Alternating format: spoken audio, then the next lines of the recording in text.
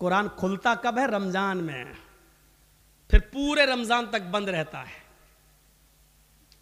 फिर जब रमज़ान का महीना आएगा, तब वो कपड़े से खुलेगा। धूल उस वक्त धूल साफ़ होगी। अपने जहेज के बर्तन रोज धोएगी। अम्मा की और बाप की तरफ़ से मिले हुए बर्तन रोज धोएगी। लेकिन कुरान जिस जुजदान में लिपटा हुआ है, उसको महीनों हो जाते हैं। उसको साफ़ करने की नौबत नहीं आती। जिस तरीके से बेनमाजी औरत बेनमाजी आदमी के साथ नहीं रह सकती, उसी तरीके से नमाजी शोहर के साथ बेनमाजी औरत नहीं रह सकती।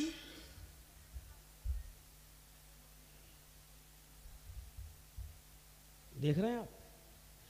इन नबियों पर भी नमाज़ फ़र्ज़ थी। ये अलग बात है कि किसी नबी के ऊपर दो रकात फ़र्ज़ थी, किसी नबी के ऊपर चार रकात फ़र्ज़ थी, किसी नबी के ऊपर तीन रकात फ़र्ज़ थी, किसी के ऊपर दो टाइम की थी, किसी के ऊपर तीन टाइम की थी सुबह, दोपहर, शाम, और किसी के ऊपर पाँच टाइम भी थी, किसी के ऊपर चार वक्त की भी नमाज़ फ़र्ज़ थी। लेकिन अल्लाह के नबी जनाब मोहम्मद रसूलुल्लाह सल्लल्लाहु अलैहि वसल्लम जब नबी बनाकर भेजे गए तो आपने ये नमाज़ पाँच वक्त की फ़र्ज़ की, क्योंकि अल्लाह ताला ने पचास से पाँच वक्त की कर दी, और जब पाँच वक्त की फ़र्ज़ कर दी गई तो नमाज़ का उसूल ये बनाया कि फजर में दो रकात रख दी, जोहर में चार रकात रख दी, असर में चार रकात रख दी, मगरिब में तीन रख दी, और ईशा में चार रख दी, क्योंकि किसी नबी के ऊपर दो थी, किसी के ऊपर तीन थी, और किसी के ऊपर चार थी। दो से कम नहीं थी और चार से ज़्यादा किसी के ऊपर फ़र्ज़ नहीं थी। इसलिए अल्लाह के नबी ने दो भी रखी, तीन भी रखी और चार भी रखी ताकि लोगों को इस बात का इल्म हो जाए कि मैं किसी नबी के खिलाफ नहीं हूँ। मैंने फजर में दो रकात नमाज़ फ़र्ज़ की है ताकि उन नबियों की भी इब्तदा हो जाए। जो दो रकात जो पढ़ा करते थे, तीन रकात भी मैंने मगरिब में रख दिए, क्योंकि कुछ नबियों पर तीन वक्त, तीन रकात फ़र्ज़ थी तो मैंने उनको की तीन रकात भी रख दी, ताकि उस नबी की सुन्नत भी ज़िंदा हो जाए। और जिन नबियों पर चार रकात फ़र्ज़ थी, हमने जुहर, असर और ईशा में चार रकात फ़र्ज़ कर दी, ताकि उस नबी की सुन्नत पर भी अमल हो जाए। मैं नबियों का मुखालिफ नहीं हूँ, मैं रसूलों का मुखालिफ नहीं हूँ। हाँ मैं आखिरी नबी हूँ, अब तरीका मेरा चलेगा, अब रास्ता मेरा चलेगा। दुनिया में तीन ही किस्म की मखलूक है। एक मखलूक जो हमेशा खड़ी रहती है, जैसे पेड़, दरख्त, पहाड़, ये खड़े हैं। कुछ मखलूक झुकी हुई होती है, जैसे भैंस, बकरी, गाय, भेड़। आप देखिए, हम लोग जब ऐसे रुकू में चले जाएँ तो बिल्कुल वही शक्ल हो जाती है। और कुछ मखलूक ज़मीन से चिपकी हुई होती है, जैसे छिपकली, चूहा, दीवार पे भी चढ़ेगा तो चिपका हुआ होगा, ज़मीन पे होगा तो ऐसे होगा। ये तीन ही किस्म की मखलूक है, चौथी कोई किस्म नहीं है। और अल्लाह कहता है यूसफ समावाती व माफिल ज़मीन व आसमान की सारी मखलूक अल्लाह की तस्बीह बयान कर रही है, अल्लाह की हमदो सना बयान कर रही है। अल्लाह के नबी सल्लल्लाहु अलैहि वसल्लम ने नमाज़ में ये तीनों कंडीशन लागू कर दी है। अल्लाह अकबर, अय अल्लाह, ये पहाड़ भी तेरी हमदो सना बयान करते हैं, ये दरख्तों के पत्ते भी हमदो सना बयान करते हैं। अगर तुझे खड़े होकर की जाने वाली इबादत ज़्यादा पसंद है। दरख्तों की, पहाड़ों की तो देख मैं खड़ा हूँ। अल्लाह अकबर। मेरी इस अदा को कबूल कर ले। अगर तुझे चार पैर वाले जानवरों की इबादत ज़्यादा पसंद है तो देख मैं झुक गया हूँ। अल्लाह अकबर। मैंने रुकू कर लिया है। देख मैंने भी उनकी तरह शक्ल बना ली है। अगर तुझे छिपकली चूहे और ज़मीन पर रेंगने वाले कीड़े मकूड़े सांप बिच्छुओं की इबादत और उनकी तस्वीर पसंद है। तू देख, मैं सजदा कर रहा हूँ। अल्लाह अकबर। ज़मीन पर चिपक गए, सजदा कर लिया। अल्लाह, अगर तुझे ये हयात पसंद है तो मैं भी इस हयात को कर रहा हूँ। तीनों चीज़ें नमाज़ के अंदर लागू कर दी हैं। पता नहीं अल्लाह को कौन सी अदा ज़्यादा पसंद है। अल्लाह, तीनों अदाओं में से जो तुझे पसंद है, वो कबूल कर ले। आइए एक और चीज़ बताता हूँ आपको। अल्लाह के नबी सल्लल्लाहु अलैहि वसल्लम के पास चंद साहबा आते हैं। हाँ सुनिए, ज़बरदस्त चीज़। चंद साहबा आते हैं और आकर कहते हैं, अय अल्लाह के नबी सल्लल्लाहु अलैहि वसल्लम, मैं जब मस्जिदों में नमाज़ पढ़ने जाता हूँ तो ये काफिर कान लगा लगा कर सुनते हैं दीवारों पर।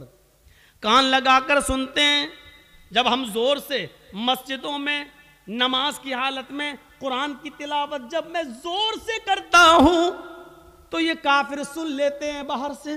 फिर ये मस्जिदों में घुस जाते हैं और बेतहाशा मारते हैं। इतना मारते हैं कि मारते मारते पीड़ते पीड़ते हमें बदहाल कर देते हैं, लहू लुहान कर देते हैं। अल्लाह के नबी ने पूछा अच्छा ये बताओ, वो किस वक्त कान लगाकर सुनते हैं तुम्हारी दीवारों पर? कहा अल्लाह के नबी। शाम को जब काम करके वापस आते हैं, बहुत देर हो गई, तकरीबन डेढ़ घंटा, एक घंटा, वहाँ बड़ा शोर हो रहा है, वो पीछे। वो लोग सुन ही नहीं रहे, पता नहीं क्या खुरापाते कर रहे हैं। बच्चे नहीं हैं, उसमें कुछ बड़े भी हैं। उधर देखिए, वो पीछे। और अभी तक नहीं सुन रहे, देखो, वो फिर छलांग लगा रहा, कूद रहा, उनकी आवाज़ यहाँ तक आ रही है। कोई ऐसा आदमी नहीं है जो उनको भगा दे, उनको कह दे, घर जाए।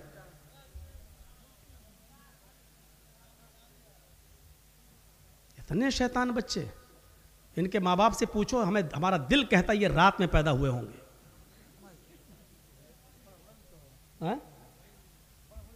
हाँ बड़ा बड़ा भी है, हमको यहाँ से दिख रहा है। अभी निगाह इतनी कमज़ोर थोड़ी हुई हमारी। पूछा अल्लाह के नबी सल्लल्लाहु अलैहि वसल्लम ने अच्छा ये बताओ कि वो किस वक्त कान लगा के सुनते हैं? कहा, अल्लाह के रसूल, वो जब शाम को काम करके वापस आते हैं जब। तो वो कान लगाकर सुनते हैं। यानी असर के वक्त। तो अल्लाह के नबी सल्लल्लाहु अलैहि वसल्लम ने फरमाया अच्छा तो कान लगाते हैं वो दीवारों पर? कहा तो ठीक है, फिर असर में तुम कुरान की किरत ज़ोर से करना बंद कर दो, यानी आहिस्ता पढ़ लो। और कब? कान लगाते हैं, कहा अल्लाह के रसूल कैलूला करते वक्त। हम लोग जब दोपहर में काम करके आते हैं, घर में खाना खा के थोड़ा सोते हैं, कैलूल यानी जोहर की नमाज़ के वक्त वो कान लगा कर सुनते हैं और हमको पकड़ के मारते हैं जब हम ज़ोर से कुरान की तिलावत करते हैं तब। तो अल्लाह के नबी ने कहा, जोहर में भी तुम कुरान को आहिस्ता पढ़ो। देखिए, आपने ये नहीं कहा कि नमाज़ घर में पढ़ लो। मकामी आदमी हो जो कहीं का रहने वाला हो, आप अपने गाँव के रहने वाले हैं तो आप अपने घर पे नमाज़ नहीं पढ़ेंगे।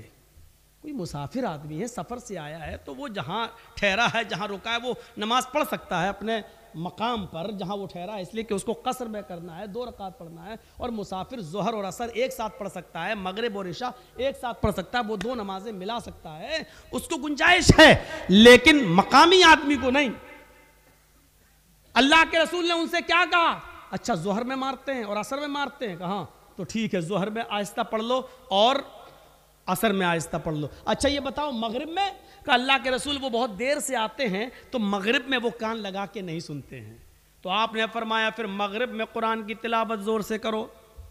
अच्छा ईशा में हाँ अल्लाह के नबी, जब वो घर, कारोबार करके खेती बाड़ी करके वापस आते हैं तो ईशा में भी कान लगा के सुनते हैं। आपने फरमा हाँ तो वो ईशा में भी नहीं सुनते क्योंकि थके हुए होते हैं। खाना खाया और सो गए। मगरिब के बाद आते हैं, सुनते नहीं हैं, इसलिए आपने कहा मगरिब में पढ़ो ज़ोर से। ईशा की नमाज़ आप इतनी देर से पढ़ते हैं कि उनको नींद आ जाती है। वो ईशा में भी नहीं सुनते, आपने फरमाया तो ईशा में भी पढ़ो। अच्छा फजर में? कह अल्लाह के नबी, फजर में तो वो खुद ही घोड़ा बेच के सोते रहते हैं। तो आपने कहा फिर फजर में भी ज़ोर से तिलावत करो। पहले ये पाँचों वक्त ज़ोर से तिलावत होती थी, पाँचों नमाजों में ज़ोर से पढ़ा जाता था, अल्हम्दुलिल्लाह रब्बिल आलमीन। जब सहाबा ने शिकायत की कि अल्लाह के रसूल, ये हमें मारते हैं, कानों में, दीवारों पे कान लगाते हैं, सुन लेते पढ़ रहे हैं तो मारते हैं पीड़ते इतना मारते हैं कि लहू लुहान हो जाते हैं। तो आपने कहा, कब मारते हैं? कहा, जोहर में। आपने कहा, जोहर में आहिस्ता पढ़ो। कब मारते हैं? कहा, असर में। असर में भी आहिस्ता पढ़ो। मगरिब में? कहा, नहीं। ज़ोर से पढ़ो। ईशा में सो जाते हैं वो। ज़ोर से पढ़ो। फजर में नहीं उठते हैं वो। ज़ोर से पढ़ो। मेरे भाइयों, ये सिलसिला चलता रहा। बहुत दिनों तक ये सिलसिला चलता रहा और इतने दिनों तक ये सिलसिला चला कि मक्का फतह हो गया। जब मक्का में कामयाबी मिल गई और नबी की हुकूमत आ गई, तब साहब कराम ने फिर अर्ज़ किया। अब जो चीज़ बताना चाहता हूँ, वो सुनिए अब अब साहबा ने अर्ज़ किया आए अल्लाह के नबी, जब हमारे हालात खराब थे, जब ये हमें मारते थे, पीटते थे, जिसकी वजह से आपने आहिस्ता पढ़ने का हुक्म दे दिया था जोहर में और असर में, अब तो ये मारते नहीं है। अब तो हुकूमत हमारे हाथ में आ गई। अब तो मक्का और मदीना की बागडोर हमारे हाथ में है। तो आए अल्लाह के नबी, हमें पहले वाली इजाज़त दे दीजिए, अब हम फिर से पाँचों वक्त की नमाजों में ज़ोर से तिलावत करें। भाई हालात अब खत्म हो गए। पहले हालात बुरे थे, इसलिए आपने आहिस्ता पढ़ने को कह दिया। अब तो हमारे हमारे फेवर में है हालात। अब तो हमारे हक में है हालात। तो अब क्यों हम आहिस्ता पढ़ें? अब हम ज़ोर से पढ़ेंगे। आपने कहा, नहीं। नहीं। बिल्कुल नहीं। साहबा ने कहा, अल्लाह के रसूल, क्या ये वजह नहीं थी कि ये लोग हमें मारते थे, इसलिए आपने आहिस्ता पढ़ने के लिए कह दिया था? आपने कहा वजह यही थी। कहा जब वो रीजन खत्म हो गया, जब वो वजह खत्म हो गई तो अब ज़ोर से पढ़ने की इजाज़त क्यों नहीं दी जा रही है? अल्लाह के नबी ने क्या फरमाया? आपने फरमाया, इसलिए कि बाद में आने वाले लोग जब ये सोचेंगे कि जोहर में, असर में आहिस्ता पढ़ने की इजाज़त क्यों दी? और मगरिब में ईशा में और फजर में ज़ोर से तिलावत क्यों की जाती है? जब ये बाद में आने वाले लोगों को पता चलेगा, जब वो इसकी हिस्ट्री पढ़ेंगे, जब वो हदीसें पढ़ेंगे, जब उनको मालूम होगा कि साहब किराम मार खाते थे। थे कि उनकी चमड़ी उधड़ जाती थी, लहू लहूलुहान हो जाते थे। इसके बावजूद उन्होंने नमाज़ नहीं छोड़ी, मारे खाई, लेकिन नमाज़ पढ़ी। आहिस्ता पढ़ी, लेकिन पढ़ी। नमाज़ छोड़ी नहीं है। जब उनको इस बात का इल्म होगा, तब उनको पता चलेगा कि साहब कराम ने बड़ी से बड़ी मुसीबतें झेली हैं, लेकिन नमाज़ नहीं छोड़ी है, नमाज़ तर्क नहीं की है तो फिर वो भी नमाजी बन जाएँगे, वो भी नमाज़ के पाबंद हो जाएँगे।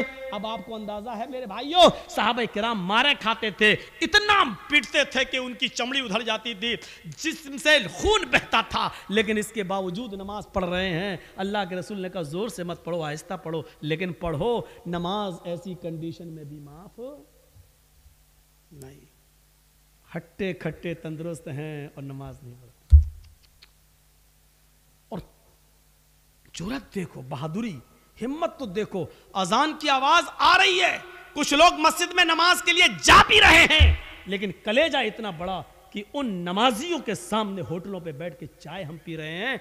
हमारा दिल और हमारा कलेजा कितना मज़बूत है। या अल्लाह, तेरा अजाब कैसे रुका हुआ है?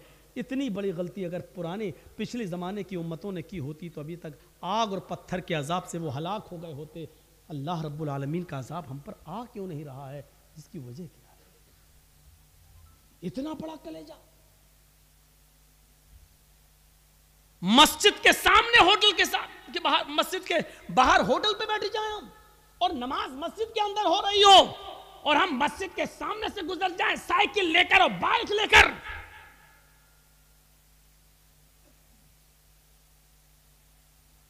यह मस्जिद दिन भर में पाँच मरतबा बदुआ देती है इलामीन इन लोगों ने मुझे बनाया तो बड़ी शान से। जल से करा करा के, चंदे कर कर गए। सीमेंट ले ले के बोरियाँ ले लेकर, ईटें ले लेकर। हमें बनाया तो बहुत अच्छा है। खूबसूरत बना लिया, मीनारा भी बना दिया, बड़ी आलीशान बना दिया। लेकिन इलामीन इन्होंने मुझे वीरान कर दिया। बनाने के बाद मुझे आबाद नहीं किया। आय अल्लाह, इन्होंने मेरा पेट नहीं भरा। अल्लाह, इन्होंने मुझे बनाने के बाद मेरे पास नहीं आए, मेरी गोद में नहीं आए। अय अल्लाह, जिस तरीके से इन्होंने मुझे बनाने के बाद वीरान कर दिया आय अल्लाह, तू इनकी जिंदगियों में वीरानी पैदा कर दे। अल्लाह, जिस तरह इन्होंने मुझे बर्बाद किया, तू इनको बर्बाद कर दे।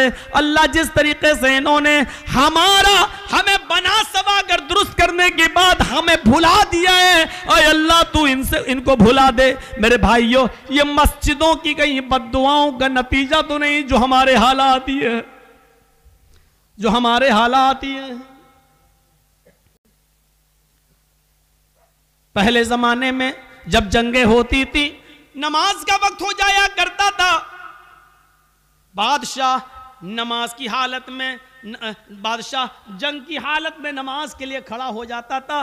दूसरा बादशाह ये समझता था कि ये क्या हो रहा है? बताया, ये नमाज़ पढ़ रहे हैं, अल्लाह को याद कर रहे हैं, अल्लाह से दुआ कर रहे हैं। वो बादशाह अपनी फौज लेकर भाग जाता था। ये कहते हुए कि जो कौम तीरों और तलवारों कि सायों में भी अपने रब को न भूलती हो तो उसका रब उसे कैसे भूल जाएगा? जो कौम तलवारों के सायों में पली हुई हो तीरों तलवारों के सायों में जो नमाज़ अदा कर रही हो, ऐसी पोजीशन में भी वो अपने रब को भूल नहीं रही हो, अपने रब की इबादत कर रही हो, फिर उसका रब हमारे साथ क्या करेगा? अगर हमने इनको इस पोजीशन में मारा, वो अपनी फौज, अपने हथियार, अपने घोड़े, अपना सारा हथियार वहीं पर डालकर भाग जाया करते थे। ये कहते हुए कि आए अल्लाह वालों, हम तुम्हारा मुकाबला नहीं कर सकते। अय अल्लाह वालो, हम तुम्हारा मुकाबला नहीं कर सकते। मेरे भाइयों, कल तक हमारे ये हालात थे। आज हमारे हालात ये हमारी मस्जिदों में नमाज़ हो रही है, लेकिन काफिरों की बारात बजती हुई जाती है। उनके बैंड बजते हुए जाते हैं, उनके गाने बजते हुए जाते हैं, लेकिन हमारी अजान की आवाज़ या नमाज़ की किरत भी हो रही हो तो उनको कोई फ़र्क नहीं पड़ता, क्योंकि जब आजान और नमाज़ के वक्त हमने अपनी टीवियों को बंद नहीं किया है, जब हमने अपने घरों में टीवियाँ चलाना शुरू कर दी तो फिर काफिरों के दिलों से भी हमारा रोबो दबदबा निकल गया। काफिरों के दिलों से भी हमारा रोबो दबदबा खत्म हो गया। क्यों होगा? हमने काफिरों के दिलों में अपनी इज़्ज़त बनाई बनाई कहाँ है? कहाँ बनाई है हमने अपनी इज़्ज़त? गजब हजाब का वो मौका याद करो। सुनो, सिर्फ़ एक नमाज़ थी बस, एक। वो भी अल्लाह के रसूल सल्लल्लाहु अलैहि वसल्लम नबी की। एक नमाज़, और वो भी छूटी नहीं थी बस, सिर्फ़ उसका असल वक्त निकल गया था। गजवा, जंग हो रही है। नाम है उस गजबे का गजब अहजाब। और सुनो! कलेजा संभाल कर सुनो, दिल संभाल कर सुनो इस वाक़े को। गजब अहजाब काफिरों की तरफ़ से तीर चल रहे हैं, मुसलमानों की तरफ़ से भी तीर चल रहे हैं।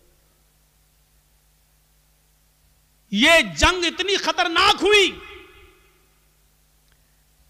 कि आसर की नमाज़ का वक्त आ गया, लेकिन साहब किराम संभल नहीं पाए। कोई इधर था, कोई उधर था, नमाज़ पढ़े तो कैसे पढ़ें? एक साथ होते तो चलो आधे पढ़ लेते, आधे जंग करते, फिर ये पढ़, ये जो जो आधे पढ़ चुके होते, ये जंग में चले जाते, जो छूट गए वो बाद में पढ़ लेते। लेकिन कोई इधर है, कोई उधर है। ये ये असर की नमाज़ का वक्त था, असर की नमाज़ का वक्त। अल्लाह के रसूल नमाज़ पढ़ा नहीं सके और साहबा एक साथ जमा नहीं हो सके। कोई इधर से तीर चला रहा, कोई उधर से तीर चला रहा है।